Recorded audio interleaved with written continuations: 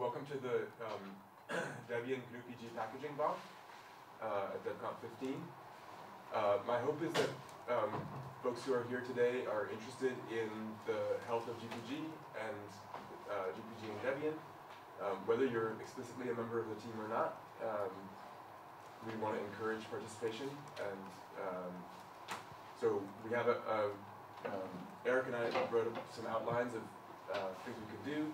If it turns out that we can breeze through this outline, I'd be happy to break out into small work groups if folks are interested in actually doing some of the concrete work that we have ahead.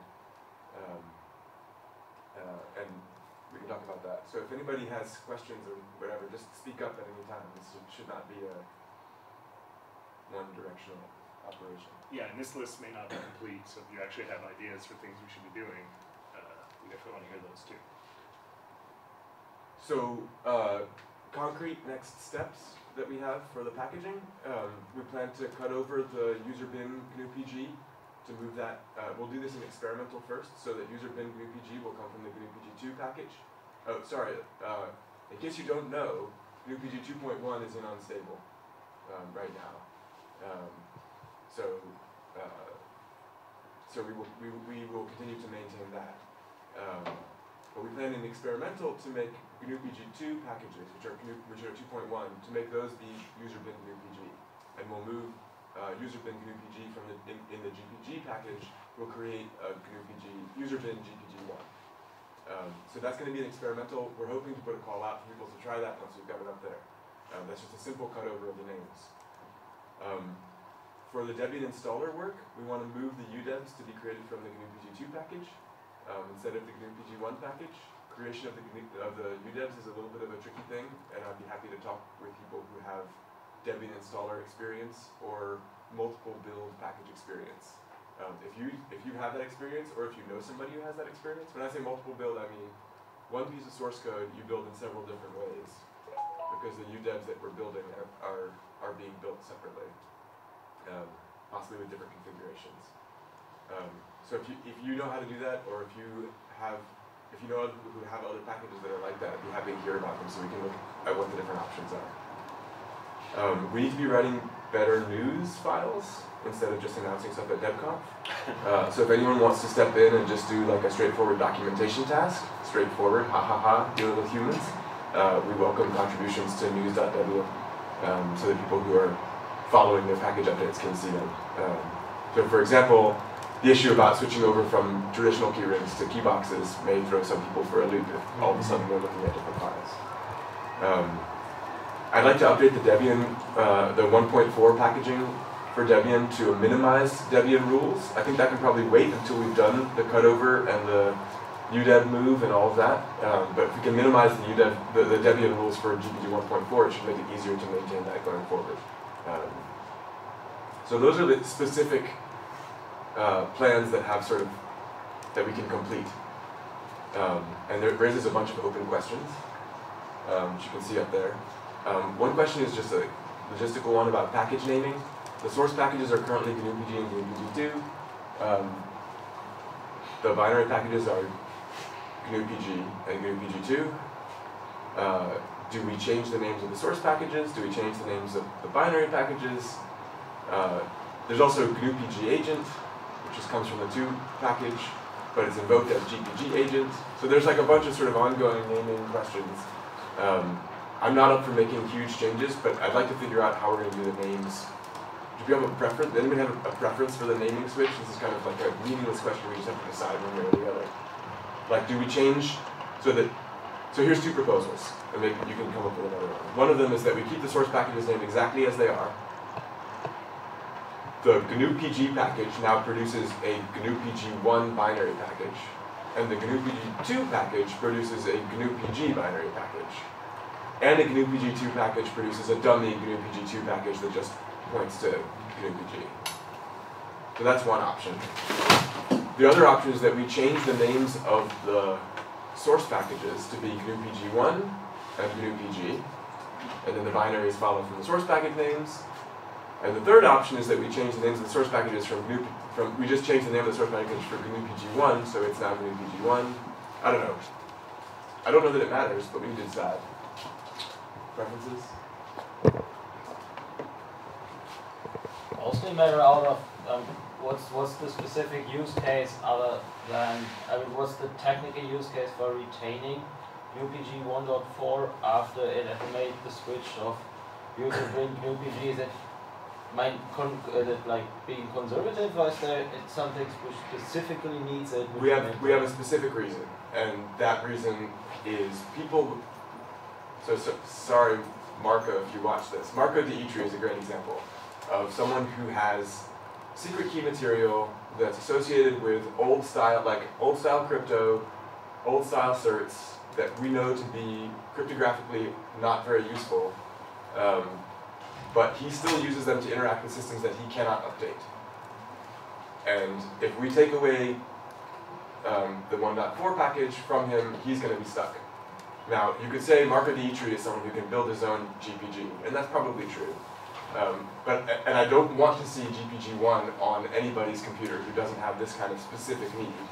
But there are people who do have a need to do some older interop with systems that they can't fix on the other side. So that's why we have Then there is another case, another case. If you have old data encrypted with PGP2, uh, you need to have uh, PGP1. So Because for- uh, if you wanted to- 2.1, there's no support anymore for old, for old keys or old, old data in it. Uh, that's the reason. Some people do have this old data. So, like- But then it would appear to me that the more appropriate package name would be something like UPG-legacy or something like that to indicate that. Otherwise, it sounds like it's. Otherwise, it sounds like this classic like uh, there's Apache 2.2 and 2.4 both are great, but Right. uh, if I need something specific, I pick 2.4. I like that. So the binary package would be GNU-PG Legacy Oh, obsolete. or GNU-PG Obsolete.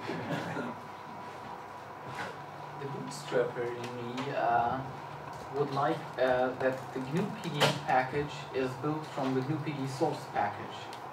So when you do the switch over, I need to switch over the package as well in the bootstrap process. And if you rename the source packages as well, then I have exactly nothing to do. Because it changes which source package is built by renaming them. Okay. Um, so it, all of these tools are going to build multiple binary packages, and Yes. obviously some of those binary packages will not have the same name as the source package. No, what I mean is, uh, the property that is desirable is that the GNU-PG source package continues building the GNU-PG binary package. Okay. Okay.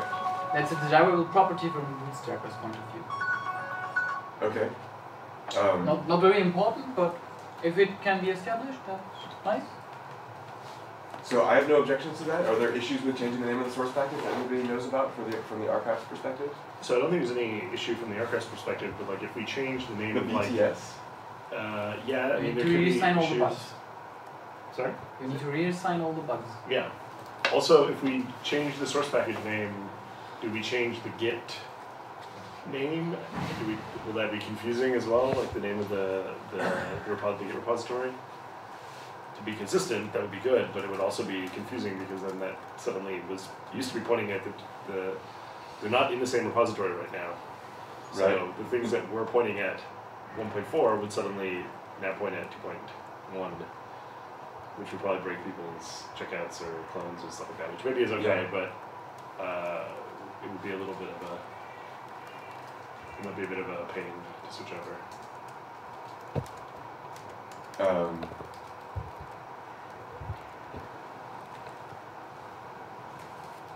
yeah. So we've heard that renaming would be good for Bootstrapping, bootstrapping. but mildly good. Not, not a strong argument. okay. You're making me worried with the Git repos plus the BTS. So I'm kind of inclined to leave the source package names the same.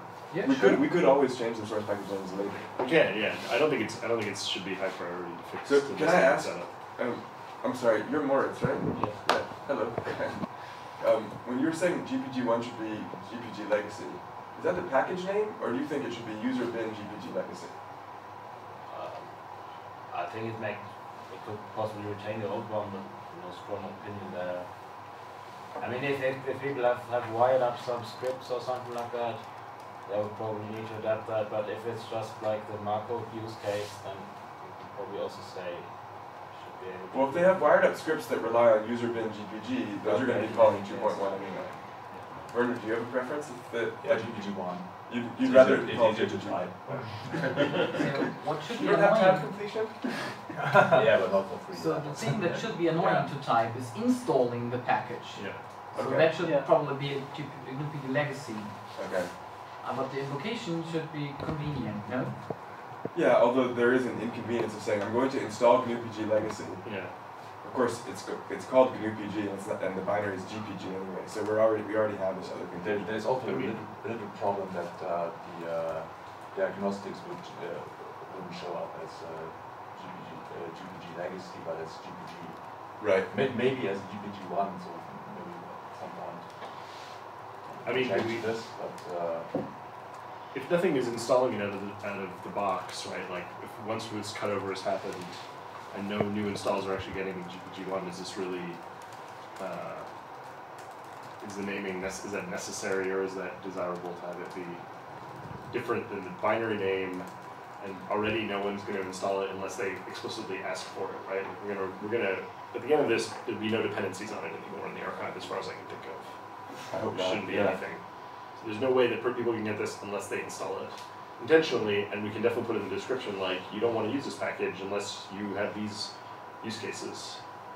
So I, I just yeah, just making it inconsistent from the binary name sort of seems uh, a little bit undesirable. But I, I mean I understand your point. Okay, so discourage. so I'm I'm hearing like people might be okay if we have the package name be GNU-PG legacy, the binary is user bin GPG1. We might change the diagnostic string as well, so that it's the diagnostic strings that it emits, if they're in log files or whatever, we can distinguish them from a, a GPG diagnostic. We'll probably leave the source packages alone, uh, the source package names alone for now. Sound okay? oh, I think we, don't, we can't change the diagnostics because scripts rely on this. I'm pretty sure. Oh, really? Yes. Yeah, that. Uh, But the scripts are gonna have to change to call GPG1 anyway. Yeah, and if you start to pass, they Well, There are too many scripts, they pass the regular, the regular human readable output. Those scripts are broken by Yeah, design. they're broken, I know. I don't- and I actually- people that- I actually don't care about breaking those scripts. If someone's parsing human readable output, so. Well, if Marco, if Marco changes his scripts, it's okay. I Wait. just wanted to mention this. that yeah, You will receive the bug report. Yeah. Well, I, but I'm, I'm willing to say your scripts are parsing human readable output. That's that doesn't make any sense. Yeah, that's So what I also always think. I'll, I'll So hold the line. when, on. I want to uh, the front line. Bin sh transitioned from bash to dash. Some people were continuing to use uh, bash uh, by mounting it onto bin sh. And some users might do the same for You can GPG. mount. You can mount a non-directory file. Yes, That, you can bind non- non-directory files.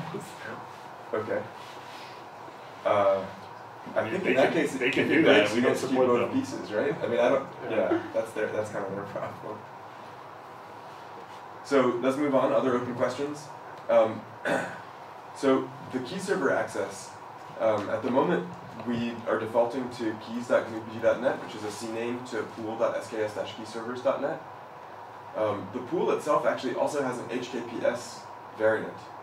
So um, it's conceivable that so do people know about HKPS? Right, you're you're accessing the key server basically over a, a TLS link. Um, but if you want it to be a pool, pools for TLS are a little bit strange uh, because you would need to deal with the identity and the person who's coordinating the pool is uh, Kristian Fiskerstrand, and he has a certificate authority that's specific to the pool. So we could ship the CA for his certificate authority and do something like have the default be an HTTPS query so that people's um, so that people's queries are not uh, sent in the clear to the key servers as a privacy preserving measure. So that's that's that's something that we could consider doing, just shifting the way that that um, GPG does it. Um, people have thoughts or concerns or questions about that? The HKPS pool is active. I use it regularly. I haven't noticed any problems with it. That doesn't make, uh, make first, first piece of also use this? Is it also in the pool? No. No, May first key, key server is not a pool. That's Ah. it's just one key server. Yeah, you have a different certificate. Actually, it's in the it's in the pool, and there's the May 1st key server. So depending on what how people access it, it provides a different certificate. Ah, okay. Yeah. Yeah.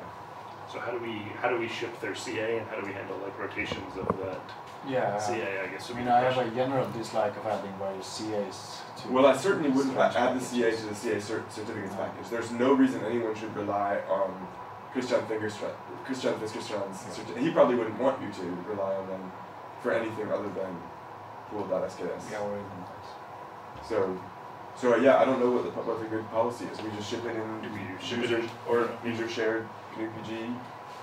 Right. SAS key do server we ship it as a separate package so we can easily change it if or more easily change it if it needs to be updated for whatever reason or is What about revocations? yeah. Yeah. CL, CL is for for for HTTP also. Uh, well, Well, if, if, OCSP if some key server is pulled from the or- rotation, the certificate should be revoked. yeah. How do you handle that? Well, there should be CRLs or, s- or, or OCSP or something, but I don't want to think about GPG having to deal with that. No, we don't check that.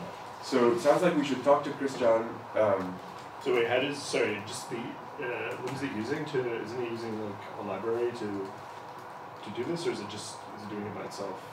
The actual Um, there- there's, connection. there's a little problem. The uh, old GPG, um, you, you get this certificate with the uh, key server options to uh, to GPG, Mhm. um, but I don't think that makes any more sense. It should be a, a property of dirmngr who does all the server access. So, so I plan to remove this any, any, anywhere from GPG. it is in the German manager config already, actually. Yeah. Yeah. Uh, so uh, the, the question is more whether to use the uh, system bundle. Yeah. Is use the system, system bundle instead of uh, the, the dedicated. What, do you, what would you think about um, saying if the key server that you ask for is hkps colon slash slash hkps key servers then use this custom CA as the default. So you change the default based on this one particular string because we know about that operation and that's a special thing. And if they override the default, fine. But other, but if they don't override the default, then instead, then with that exact string, I, this feels like a gross hack, but I don't. But it seems the simplest thing to do. Um. So if it matches that exact string, then the default is different than if it's we use the system bundle otherwise. Sound okay? So we should talk to Kristian about it and see how he feels about the idea of his CA being shipped and how he thinks it should be handled. If there's like if he needs to switch CAs. Yeah. Um, But that is Is something which, stable which will also be done in upstream. that would be great. Yeah, yeah, sure. That's it. Okay. But What about also the load of the uh, uh, pool? Because if we talk TOS, the CPU load. They've is got- a there's- higher, or- There's a dozen. There's a dozen servers answering the pool, um, and all of the servers, because it's HKPS, are required now to have basically a front end uh, reverse proxy to handle the requests.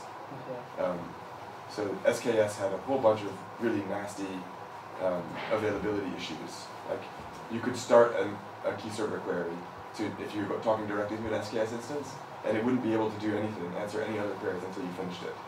So it's like Slowloris attack, but times a hundred. Um, but that's not true if you have a, a, a front end in place, like a, a reverse proxy in place, and the only way to do HKPS is with a front end proxy. So it's actually hi- the higher availability is better now in the HKPS pool. So so we should talk to Kristian about it and see what he feels like.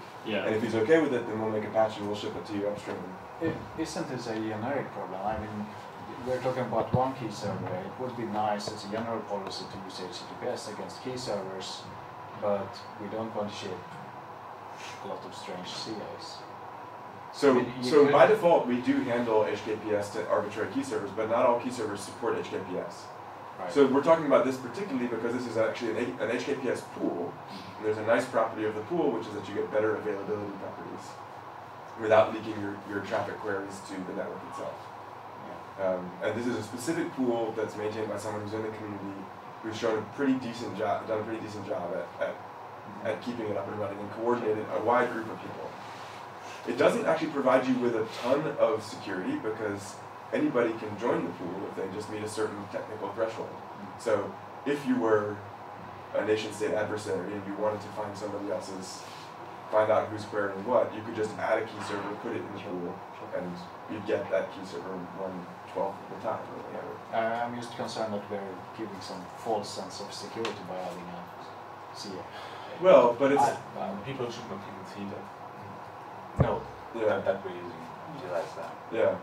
So it, it, it's just these let's encrypt stuff, we just do everything. Yeah. Yeah, but this, that's a good, I mean, is the reason he needs the, the CA because it's fronting for a bunch of different, it basically redirecting to a bunch of different domains? There's a bunch of different servers that are part of this pool. Right. I operate one of them. Uh, you know, Kristian operates three of them, but you know, there's another dozen people who operate these servers. And Kristian says, okay, you've met this particular technical bar. Your server has been online. It's been synced. Um, it's offering TLS properly. So I'll make a certificate for you, and you can install that on your on your HTTPS front end for your key server. So then, so the reason that you need a special certificate is because there actually are basically a dozen different servers that are authorized to respond to that. Yeah. But why not just use a, a cert that's signed by a regular CA or Let's Encrypt, let's say? Uh, who's going to pay that? They're all Or Let's Well- Encrypt. oh, well, Let's Encrypt. well. Set aside the payment. Are you sharing the secret key between all those machines? You need to. If you're doing a TLS front, you would need to sh- you need to, you either need to share the secret key or make separate certificates for each of them Yeah. with different with different keys. And now you've got to, dealing with the CAs to say, oh yeah, I need ten certificates for the same name Right. Yeah. is pretty unlikely actually. It doesn't that doesn't work very well. Yeah. No, no. I mean, I see what you mean. Yeah. It'd just be nice if we didn't have to ship the, CAs. Well, at the same time, this lets us say there's only this one point of failure instead of the 400 points of failure in the, in the system level. Well. Okay, so let's move on from this. It sounds like people are kind of okay with it. We have some open questions. It's not 100% fixed, but it's probably better than nothing. And we need to talk to Kristian about how he feels. Uh, the GNU TLS team, is, which is basically Andreas Metzler, as far as I can tell, is still maintaining libksba and libgcrypt, despite the fact that GNU TLS no longer uses libksba and libgcrypt. So Andreas seems fine continuing to maintain those if we don't want to take them over. Um, I'm happy to let him continue to maintain them unless we think that there's specific changes that we need to make. Do you see any changes coming up in either of those that you want this team to take care of instead of Andreas? You, I mean, I have no problem with that. So it, it, KSBA is, uh, is only used by GPG, so it. for KSBA. Yeah. So KSBA's the easy one to take over. Gcrypt I found a little bit more Yeah, well, scary to take over. it, it, it's a separate, it's a separate project. Yeah. Okay. Okay. Um, so I guess we should mention that those two are also part of the GNU. They're still part of the GNU TLS packaging team, as far as I understand. yeah, So if you want to work on them, uh, there's another team where you can join. yeah. And these gcrypt is used very widely, even in systemd. Gcrypt is used in uh, system. Yes. Oh, okay, just saying. What is it? Gcrypt is used in systemd and many more projects. Don't jump out the window. Werner. Oh, I'm no fan of system. Um, so the GNUPG docs package, seriously out of date. Nobody seems to be maintaining it. Um, I've asked Don Armstrong. Did, anyone know if Don Armstrong is here? So I've asked Don if he wants. He was the one who'd been packaging it before. I kind of feel like we should just drop this from them because it isn't getting a lot of attention, and I don't think there is an, an active like upstream GNUPG docs collection. Are there documents that you think we should be publishing in Debian? I don't know, it's, it's all, so you have too many docs and it's I not, agree. not, not united in. That's kind of It's why I someone, I'm looking for someone who is doing, doing this and taking care of, uh, just to sort out all these different documentations, but I've not found anyone until now. So is there anyone? So if we drop this, that gives you one less piece of dangling documentation. Yeah, yeah, yeah, right, It would be better, so. All right. So. So uh, basically, what, uh, I have a repository in PG doc, which is a web server and other. right, but that doesn't need to be in Debian, does it? No, that's fine. Okay. So unless Don Armstrong has a strong objection, we'll just encourage a removal of this. It's not technically under the team umbrella at the moment, but I offered to put it under the team umbrella, got no feedback, no changes have been made. So I'll just push him on that further. where do you want to put the UDEV rules for smart cards? They're currently in the GNU PG package, which is made from GPG-1. Um, do we want to break them out into a separate package that just has, has the UDEV rules? Niibe, do you have a preference? Should we put it, ship it in, the, we could move it when we move the name user bin GPG and the package name, the binary package name. Um, or we could just break it out as a separate package and have GNU-PG and GNU-PG2 depend on those UDEV rules separately. I don't know, what, Or what do really you have the S, the SC name. Or SC Daemon, yeah. Yes. The uh, strictly speaking, the the smart card access by GNU PG one and the GNU PG two is a, a bit different. And the support of supported readers uh, by GNU PG one and the GNU PG two are different. But Okay. uh, I don't think most of users doesn't care. Why you just mentioned this, so maybe we should consider to uh, remove all the smart card support from GPG-1, Yeah. Because I yeah, don't yeah, see yeah, that there is- Yes, that would be easier. so nobody can. Yes, there. As a uh, PG2 actually, we, we recommend you use of G, PG2 uh, for smart card access. So the UDEV rules should be maintained by GNU PG2 package. Okay. Do you Yeah. want them in a separate package, or are you okay with them being in SC Daemon? or SC GPG? Demon, SC Demon. yes. I think this is also, I mean, I worked on YubiKey, YubiKey packages and we see this problem for the YubiKey in non-PGPG situations as well. And I think the real solution is to move UDEV rules to the UDEV package. That, that could be an option even for GPG. Uh, we have tried to get UDEV rules in there, but uh, well, I, I don't think I've filed a bug, but, but it seems to be opaque to, to get those in there, but I think they belong in there. The upstream UDEV project seems to be a bit messy. So, so maybe the thing to do would be to file a bug against UDEV to get those rules into UDEV. Yeah, why not? And then if they don't, if they don't act on that or they reject it for some bizarre reason, then we put them into SC Daemon. Because I don't see, yeah, How do it we? makes sense to, to have them in the GNU-PG package, but why not have them in the UDEV package? I Sure. That seems to be the central. I guess it could get complicated too for like the cut, like the some of the YubiKeys can are OpenPGP and a bunch of other things too. So Right. they probably don't want to have their, their UDEV rules In two in places. two places. So how do we coordinate that transition with uh, the UDEV? Does that mean that UDEV is going to break an older version? Is there like a conflict or something? Yeah. I mean, you don't have to use the same file, and if you just put them in different files, I, I think it's no problem. So then there's two, but then you have, Yeah, you have overlap, different potential overlap for during some time when we have the same rule in two files, but it doesn't cause problems. And once it's in UDEV, you can remove it from the other packages. Um, I can look for the YubiKey. But Why, why don't we just conflict against older versions of UPG? have UDEV conflict against older versions. Breaks and replaces. Yeah. So, I mean, that's a bigger ask of the UDEV team. Yeah. Because, I mean, I, I would just ask them to add, or talk to them and see if they think this is a good idea. is there any chance I could ask you to volunteer to do that? Because it sounds like you have a pretty good Yeah, sense of uh, what to be yeah, done. it's been on my to-do list for a long time. Okay. to- Are you to Simon. Josefsson? Yes. Oh, nice to meet you. But why you think the UDEV rules should be inside the UDEV package? Because actually you can't use smart cards without having installed GNU PGP. So You actually what you you can also argue that these can. UDEV rules only make sense if you have the package installed for it. No, you can use them without. And, and the UDEV package contains a lot of rules for various hardware. So I mean, maybe it's a question for the UDEV team if they think the UDEV package should contain rules for all hardware or if it should be in other packages. Problem if it's other packages, then the UDEV rule needs to be in all packages uh, that require that UDEV rule, But I- I think- a bit messy. I think the bigger problem here is the, the area of maintenance and control. If you're if you're submitting into UDEV, you're submitting to a systemd package, which is a rather central piece of package, which most people wouldn't. I mean, for example, if you need uh, need more updated UDEV rules, you could just use a backported SC Daemon package. But well, if you actually submit it to to to system D, which builds UDEV, then uh, you would either need to make some local hacks or actually backport a completely new. So, I mean, and there's also the, I mean, the, the, the people who are maintaining all these smart card infrastructure are probably more up to date and more dynamic than.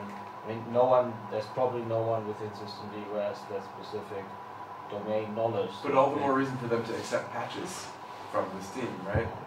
Well, Or split that out to separate just the UDEV rules. I, I don't know, maybe it's a discussion to be had with them if they have a preference. Uh, I think that you bring up a very valid point. so So, if you're okay, like spearheading that, Yes. it sounds I- like you've got a sense of what the risks are. Uh, Yeah, I, I don't know, but yeah, I can try to reach out to the UDEV folks. cool. Problem is whether to do it in Debian or upstream because Debian ships a lot of things not in Debian. But I can, I'll, I'll suggest something and circulate it to you if you're interested and then send it. Okay. So in the meantime, we'll leave the UDEV rules in the um, GNU PG dash legacy package when we're doing this cutover and experimental. Does that sound right? If, I mean, I just if we're gonna try to do the cutover, the question is, do we want the cutover? We don't want the cutover to block on the. Um, Right, uh, don't block on anything. Yeah. um, what's gonna happen if? Seems like somebody could lose their smart card access in that case, right? During the cutover. Because if they just do apt-get upgrade, Uh, don't remove it, I mean, then, then when you want to remove it from the GNU PG package, then you depend on the. but so maybe, that but but maybe they need to be swapped into SC daemon. If if UDEV is unresponsive, Mhm. maybe for the cutover and experimental, they need to be swapped into SC daemon. Yeah, I don't have it, yeah, it's. But therefore you also have break and replace. You can make sure that. uh, Right. Right. Is there, is there a root for the for the smart card? The part accessible for the root? How does it work? I, I mean, you need wide, wide access to the So- smart card. I know. you put I it mean, in- probably it's not hard Sorry, to describe it to my- Yeah. So we'll so, so we'll move them something into else SC in the- first.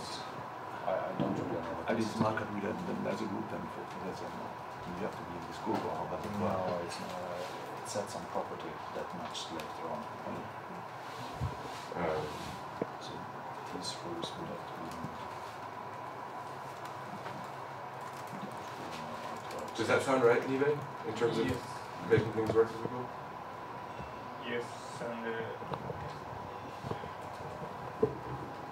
So there's this open question about divergence from upstream that we might adjust some things in terms of maybe Linux specific uh, hardening or uh, changes to the default algorithm sets or default preferences or whatever. Um, I think this is going to be an ongoing discussion, uh, but I, um,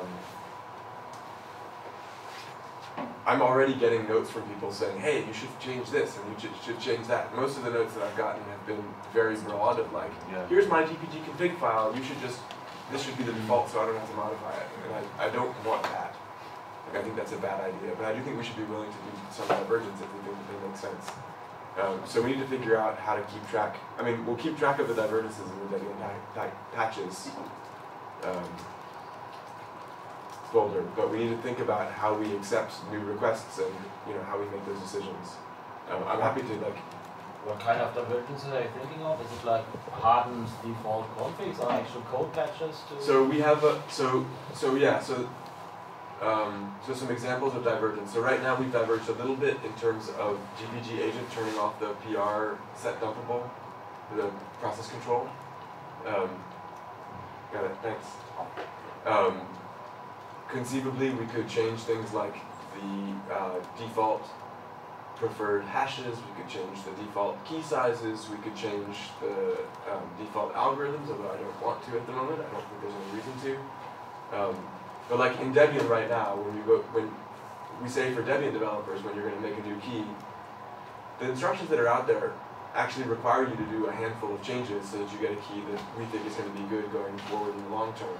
Those changes may, in some cases, be uh, have an issue with interoperability with other with people who are stuck on much older systems, um, and so uh, so there's some trade-off to be done there, and I, and I'm hoping that if we make a divergence and it demonstrates that there isn't an interoperability concern, if we get no complaints from folks who are using it in Debian unstable, and then no complaints from folks using it in Debian testing, that by the time testing gets stable, that might be an okay thing, and we can then advise upstream, hey, like the interop, like we didn't get any bug reports about the interop, or we got three, and they were from these particular use cases, and now we, now we, now the, now all the guides that say, here's how you set up your key, will be, you know, though that's a special case that here's how you set up your key to talk with somebody who's using an old system. Um, but I, I would rather have that corner those, you know, the special configs be something that are people who have special needs. I think in that specific use case you're predicting, I think you could you could still come to a conclusion where this is even upstream. upstreamable. For example, there was this talk by Nico, uh, Ni- Nikos from uh, from GnuTLS upstream, who's doing this work in Fedora, where they have like configurable various sets. So, for example, if you just build GNU-PG with a dash dash strict compile option or something like that, that you adapt those kind of strict or harder default settings. So, um, I mean, I'm not sure if that would work for you, but I think many of these changes can could be made in a way that they are also applied in a more general manner. Sure. I mean, Hey, uh, OpenPGP is quite different from other protocols because we have these preferences and it's, it's quite different so that the own has its own mechan- mechanism to uh, uh, select algorithms. So I, I'm not sure whether there is a way to. it's also different because the algorithm selection mechanism is done asynchronously. Unlike- Like in a TLS algorithm negotiation is done, you know, you have a handshake that's going on right now. No, I now. mean, this, this is just a broader example. I mean, this, this option could, could even conceivably break. I mean, it could be labeled like it's stricter, but it may break that and that. But I mean, if, if we're doing that, it might be interesting also for people who are building RPG from source. That's essentially what I'm Right. referring to. So even even if it's Well, I mean, if we make a change, we can make it a configurable change. Flip the switch in our configure, and then if you want to take it upstream, you can take it upstream.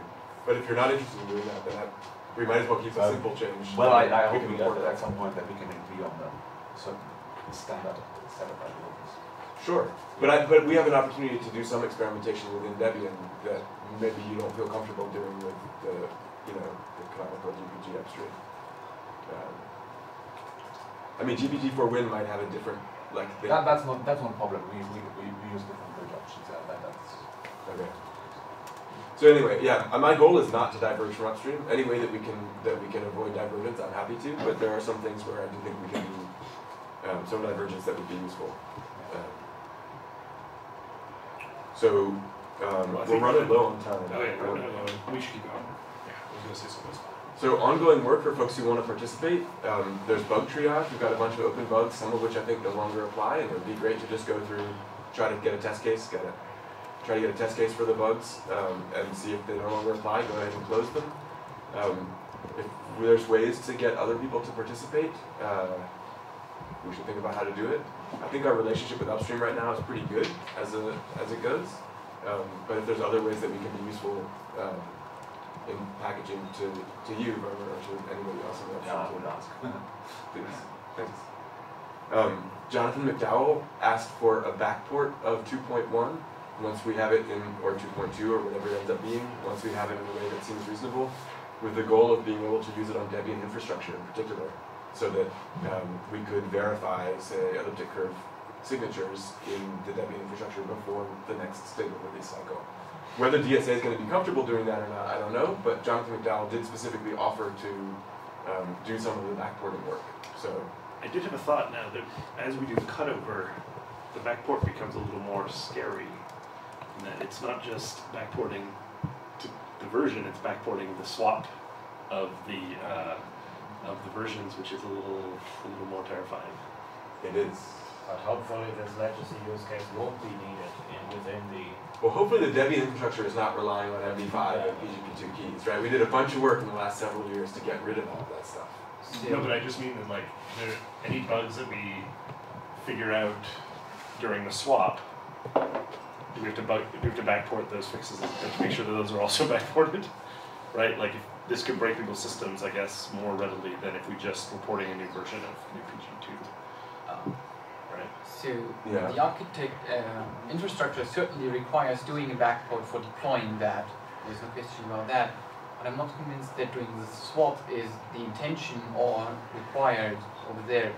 So having it installed as GPG2 and then pointing those tools that need to interact with the newer signatures uh, seems like a feasible thing to do. It does, although it especially sounds like a lot more work. it's since bigger already has these paths as configuration variables. But it's not just DAC either, right? Yeah.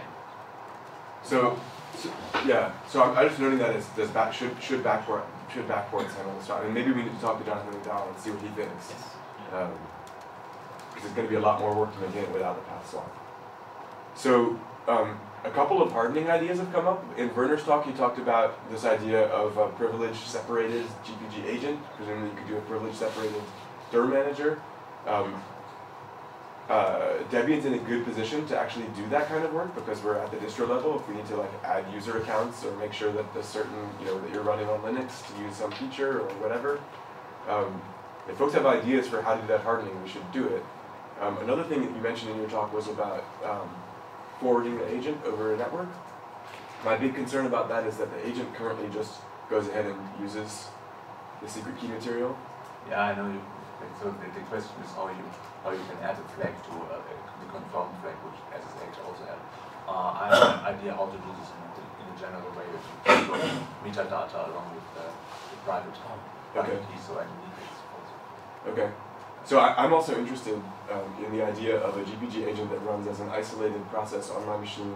That its signaling mechanism is something like the light on my on my laptop, so not on the X11 at all. And my uh, my ability to say yes, go ahead and use it, goes through like an ACPI trigger or something like that. And I could write this would be like a separate pinentry maybe. But so if it's just a confirmation prompt that's needed, nothing running in my X session can cause an ACPI trigger. Nothing running in my X session can can flip the LED light. Um, so the idea of just having sort of a soft smart card, something separated. Anyway, we should talk about that more. Yeah, but that is also related to the UDEV rules then, because uh, the SOD wants to run runs with one A separate user. Yeah. Yeah. So we're pretty much out of time. I was hoping that we'd get to actually maybe start hacking on the cutover, but I don't think we will. So if folks have other things they want to talk about, we should bring them up now. Did you have your? You look like you were trying to say something. just, uh, Does anybody want to help? Or does anyone want to take on any of these tasks themselves? Somebody want to volunteer to triage five bugs from the from the Debian BTS? Come on, five bugs, four bugs. It's a reverse auction. One. You'll you'll triage one bug. There we go. All right, thank you. Sold. I'm gonna write that down in the notes. Um,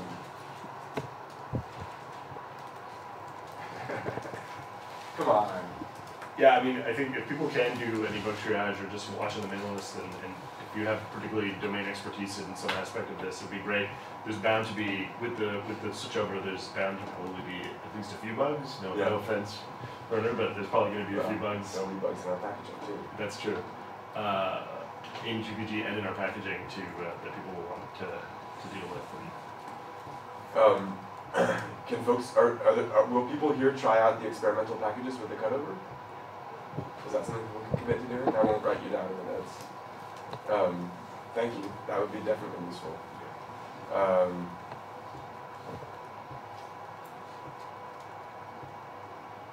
yeah, I'm not sure. Will we have elliptic keys tested? So I think we shouldn't be encouraging the creation of elliptic curve keys anytime soon. But there are already some people within Debian who have elliptic curve keys. Right. So you so right, so, so yeah.